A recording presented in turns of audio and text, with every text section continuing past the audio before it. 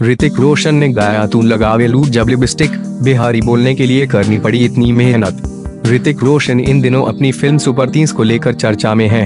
इस फ़िल्म में ऋतिक ने गणितज्ञ आनंद कुमार का किरदार निभाया है। आनंद कुमार बिहार से हैं, इसलिए ऋतिक ने भी उनके जैसे लोग को अपनाया और भोजपुरी भी सीखी। अब ऋतिक का एक वीडियो सामने आया है। इसमें वो भोजपुरी गाना, तू लगावे लोग गाते दिख रहे हैं।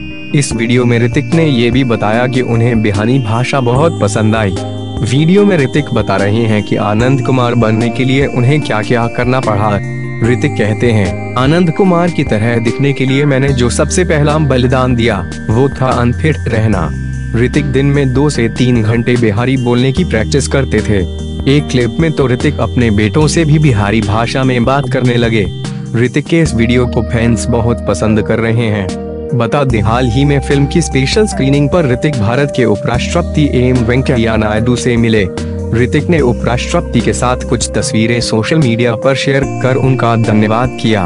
ऋतिक ने दिल्ली में अपनी फ़िल्म सुपर तीस की स्पेशल स्क्रीनिंग रखी थी। नायडू ने फ़िल्म के डायरेक्टर ऋतिक और आनंद कुमार को शुभकामनाएँ दी। वो कहते हैं, आनंद कुमार की प्रेरणादायी कहानी ने मुझे बहुत प्रभावित किया। जिन्होंने इतनी परेशानियों के बाद भी बच्चों के भविष्य को उज्जवल करने में अपनी ज़िंदगी लगा दी। बिहार सरकार ने फ़िल्म को राज्य में टैक्स फ्री करने का ऐलान भी कर दिया है।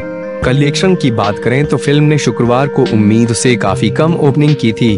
पहले दिन का कलेक्शन सिर्फ़ ग्यारह दशमलव आठ तीन करोड़ रुपए रहा। अगले दिन फ़िल्म ने बॉक्स ऑफ़िस पर बड़ी छलांग लगाई और इसका कलेक्शन उछलकर अठारह दशमलव एक नौ करोड़ रुपए जा पहुँचा।